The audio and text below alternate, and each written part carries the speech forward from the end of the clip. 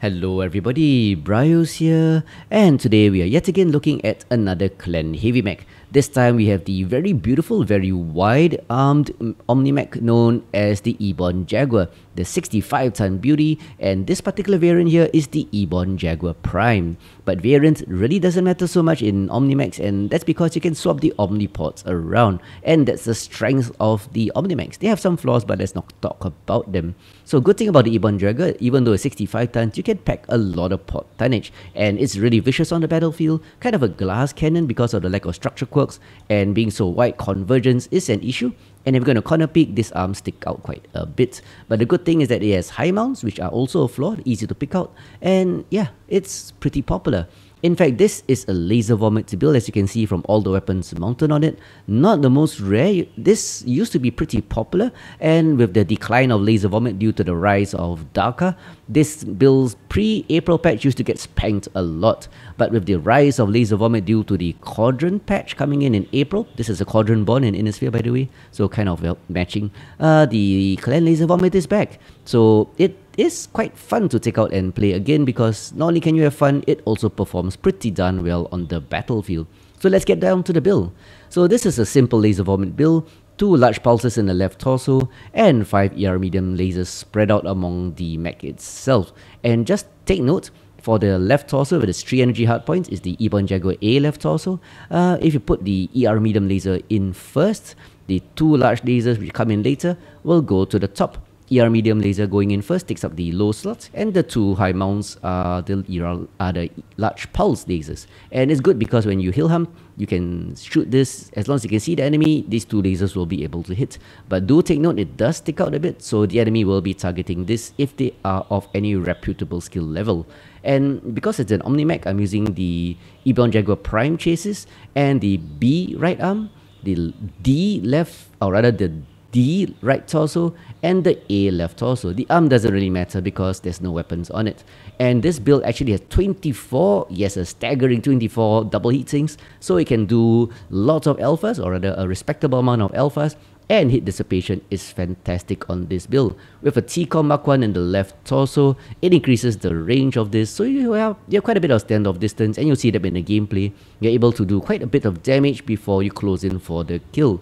But being a laser vomit build, it's still pretty darn hot, and that will affect the skills you're going to put into it. And talking about skills, let's get down into the skill tree. So for firepower tree, it's 41 SPs. The main nodes I want are the laser duration nodes, and that's because of the ER medium lasers. Shorter duration of 10% allows the damage to be packed in in a shorter duration, and it allows you to redeploy faster. And being a laser vomit build, you want to get all the heat nodes, all the heat gen nodes specifically, and with this configuration, I have a heat reduction of 8.4%. Range boost of 12% is incidental, that means I didn't really plan for it, but it's pretty nice, boosting the ER medium laser range to quite well far distance, especially with the TCOM put in almost 500 meters optimal, I think. Uh, cooldown of 6.6% allows you to fire a bit faster, and that's good because this is a DPS build. You want to deal as much damage as you can in a short time and run away because you can't really take that much damage in return. Clan mechs generally are glass cannons, so you don't want to brawl with the sphere mechs.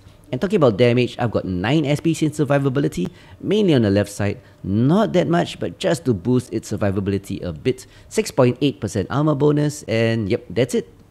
So for mobility, 14 SPs on the right side. This right side is more for accel, decel, and turn. I've got one node of speed tweak, so it moves at 82.2, just a bit faster than, well, normal.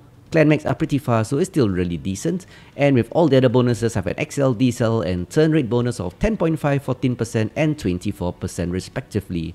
20 SPs in operations for 5 nodes of cool run, that's 10% heat dissipation, 5 nodes of heat containment, that's 15% heat capacity increase, pretty much my standard. So all the heat gen nodes from the firepower tree and the heat dissipation, cool run nodes from operations are pretty much necessary for any laser vomit build or any build that runs hot. This is a 0 SP sensor tree build because um, I yeah I know you're gonna get learned because no radar deprivation, but I believe in the power of friends ECM or hardcover, and the savings here you can put elsewhere. And finally for auxiliary, uh, with the nerf to the strikes, I'm gonna pack a few less strikes, just one strike, and with the rest, I'm gonna put the 7 SPs into getting cool shot cooldown 25% reduction and 2 enhanced cool shots. So you can fire one cool shot and a second cool shot a bit faster. Yet again, really important for a laser vomit build. So if you're looking for a laser vomit build skill tree, this skill tree is pretty much my standard. Variants do exist because it depends on your playstyle. So that's it. That's the really beautiful Ebon Jaguar, and it looks really gorgeous with the Warthog mouth and the eyes. You can swap all sorts of eyes, and yeah, it looks beautiful and it's really vicious. And it does perform post April patch. So anyway, let's get down to the battlefield with this glass cannon, and I'll show you that it's fun, vicious, but not overpowered. So let's go. So here we are on Hibernal Rift for the very first match. It's a pretty popular map, and as usual, the pretty popular strategy is to rush to the center, and Charlie Lance being 300 tonners and me, uh, it's a bit slow. We're stuck in the corner here, and I'm actually keeping them company. One thing about this build, it has range, so there's no need to rush forward. I can take pop shots like that. Uh, yeah, the 100 tonners are really slow, so uh, I think they're gonna be left behind and killed. So I'm gonna keep them company. Charlie 3 low, they're gonna be a few there. Yeah, they're not making good speed. Our light has already spotted them. I'm actually trying to move up to join the main force in the center. Uh, but I think I'd rather keep the assaults company. Starting with 3 assaults down is really a bad idea sometimes. So using the range of this build to do a bit of damage to those targets far away. Kinda torn between rushing to the center there or staying to support the assaults. So staying in the middle right now as I see how the game develops. There's the we support our assaults? Bravo, Lance in Charlie 2, Charlie 3. There's the Annihilator and another assault. Uh, lights have already reached their rear in Charlie 2. There's a flea in Charlie 2. I call it out, but team is not coming back. Using the range of this build, like I said, to do some damage to that Hellbringer. And other mechs that expose themselves. Always keeping the Annihilator in my sights. We need a Light Hunter in Charlie 3. Yet again calling for help to support us, the Charlie Lance. Getting harassed by, yeah, 3 or 4 lights, Charlie 2. To support Charlie Lance against all the incoming lights. Coming to support. Alright, decided to support this Kodiak but a bit late. Taken out by a Piranha, I think. There he goes, Juliet.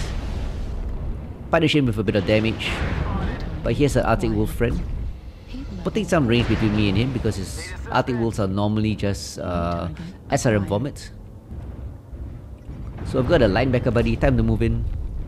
True enough, it's an SRM Vomit build with some lasers. Left torso's caught, Kilo. He's engaged with the linebacker, so managed to call his torsos. Finally, a few more mechs come in. Wolf is half, Kilo. Imagine if you push through the center, can't push. They Yeah, have we've their got entire assault line. Yeah, the- the back people tool chasing too. lights. Yeah, somebody talking about pushing the center and winning, but they didn't realize that they left three assaults behind.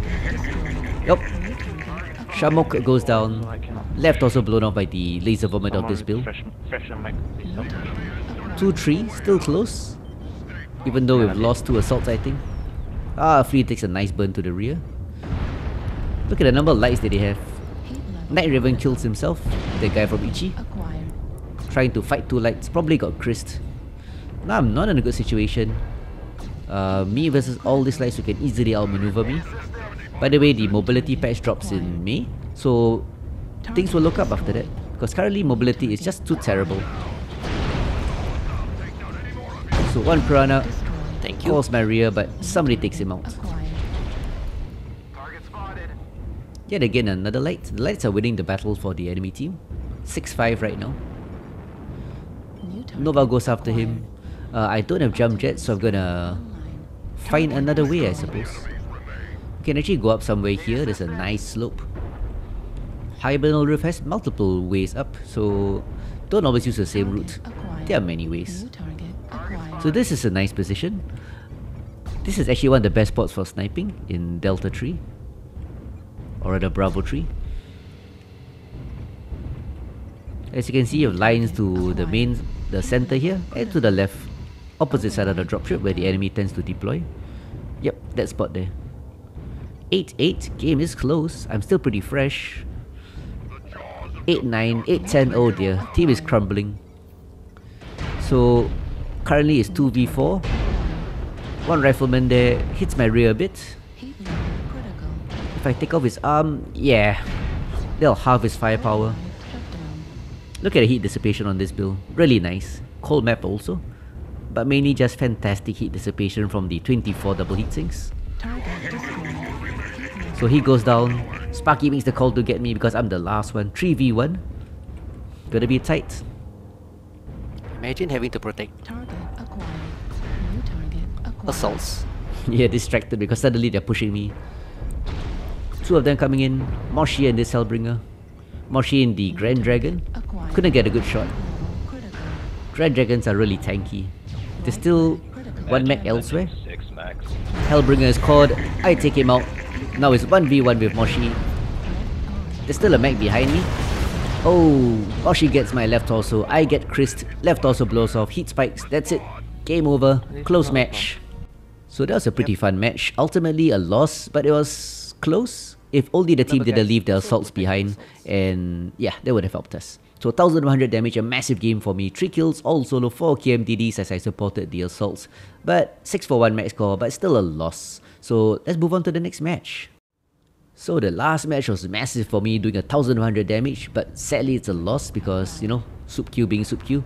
But it does show how much damage this build can put out. But anyway, right now we are on the same map, Hibernal Rift, doing the same thing, starting in Charlie Lance yet again.